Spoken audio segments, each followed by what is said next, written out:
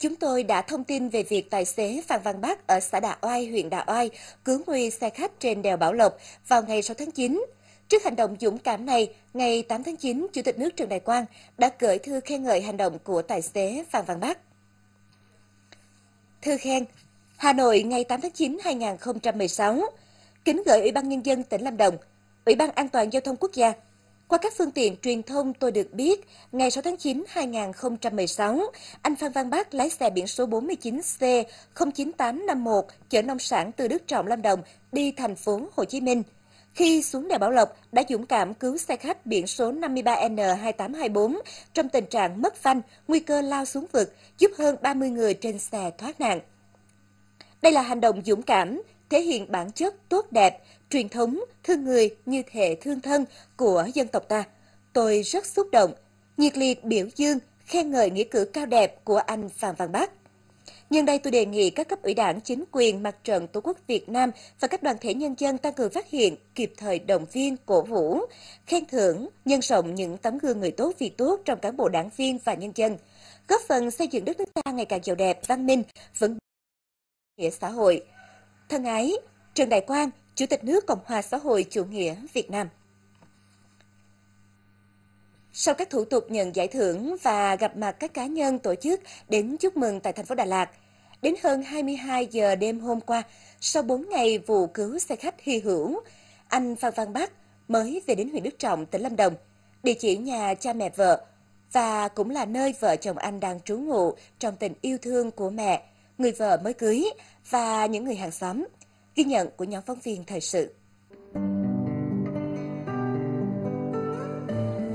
Gặp lại người con thân thương trở về nhà sau 4 ngày cứu nguy thành công, chiếc xe chở 30 hành khách trong tình trạng mất phanh khi đổ đèo Bảo Lộc xuống đèo an toàn.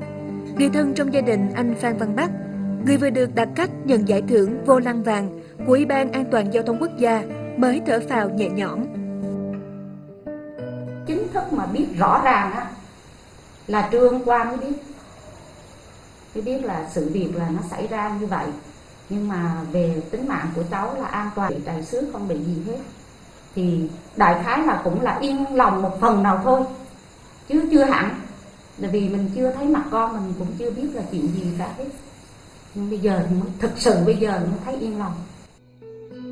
Đêm đã khuya, căn nhà nhỏ ấy trong một con hẻm trên đường Thống Nhất, thị trấn Liên Nghĩa, huyện Đức Trọng, vẫn đầy ắp tiếng cười, thăm hỏi động viên của gia đình, hàng xóm. Trong câu chuyện của mình, vợ anh Bắc, chị Nguyễn Xuân Mai chia sẻ, hai vợ chồng mới cưới nhau được một năm, hiện chị đang mang thai hơn một tháng. Đến hai ngày sau khi cứu nguy thành công chiếc xe khách, chị mới biết chồng mình đã làm nên kỳ tích như thế.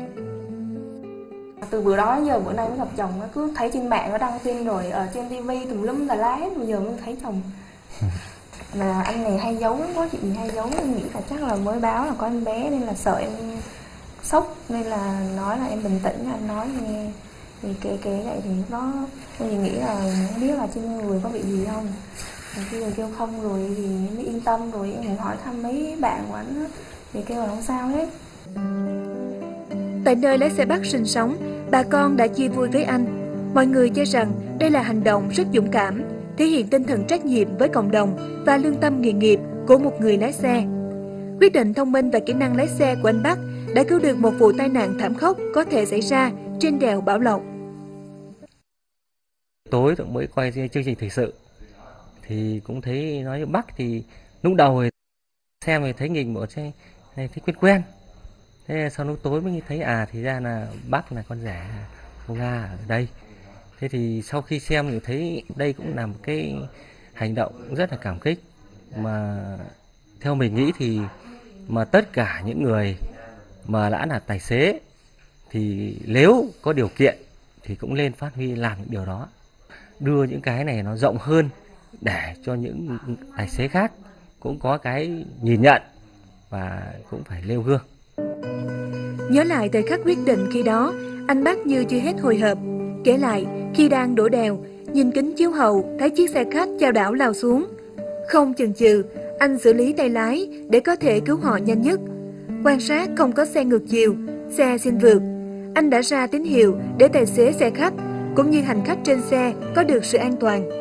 Lúc ấy, anh chỉ dám hy vọng vào may mắn và luôn nghĩ tính mạng con người là trên hết. Thực sự là bây giờ mới thấy vui và hạnh phúc, thì thực ra mình nghĩ rằng đạo đức của mỗi con người rất khó. Thì con mình đã làm được cái việc này thì mình rất là quý. Thì mỗi con người, cuộc sống riêng tư của ai cũng vậy thôi, mà cái đạo đức con người là trên hết. Nếu cháu có được cái đạo đức đó thì mình cảm thấy hãnh diện.